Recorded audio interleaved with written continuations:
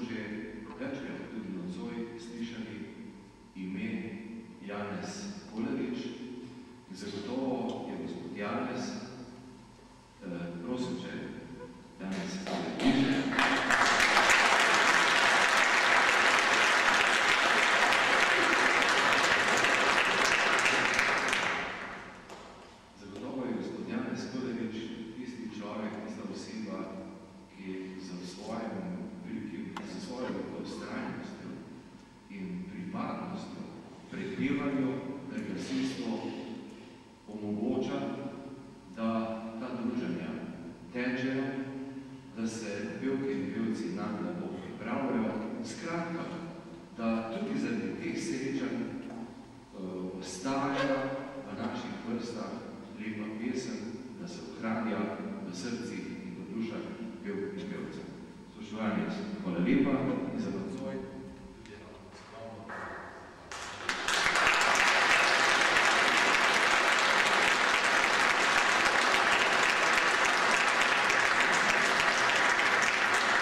Torej, Vsem skupaj še enkrat hvala lepa in prijeten večer še tudi naprej. Hvala.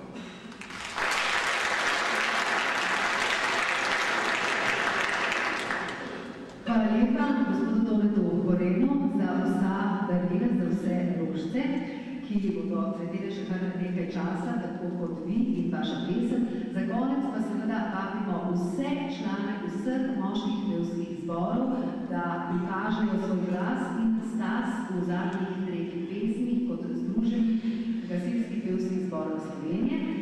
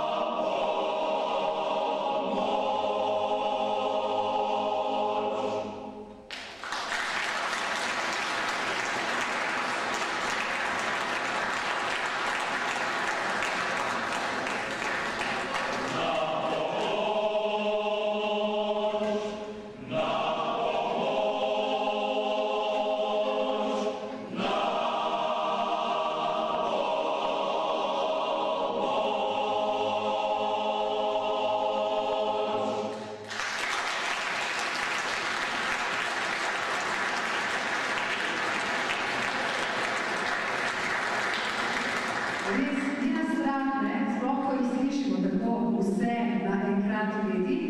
Sedaj pa, uh, spoštovani zbrani, spoštovane zbrane, sedaj vas vabimo tiste pevci, pevke, zborovodje, zborovodkinje, vabljeni gostje, še na tisti del, neuradni del današnjega srečanja, ne, v izobraževalnem centru Pekrah, tam so nam pripravili večerjo in tam bomo tudi nazdravili tej novi polnoletnosti